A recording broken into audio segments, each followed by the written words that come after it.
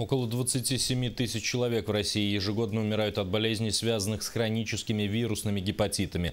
Причем такое смертельно опасное недуг умело скрывается. Зачастую человек даже не догадывается о таком диагнозе. Существуют э, виды хронических вирусных гепатитов, а именно это вирусный гепатит Б, С и Д, которые о, очень долго никак не проявляют себя и не имеют острой стадии заболевания в ряде случаев.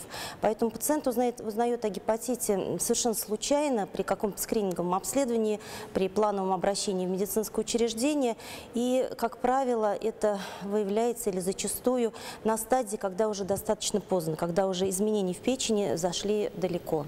Подробнее о том, как проявляется гепатит, каким образом его можно выявить и как защитить себя от инфекции, речь пойдет в программе «Экспресс-тема». Она выйдет в эфир сегодня в 17.55, сразу после первого вечернего выпуска новостей.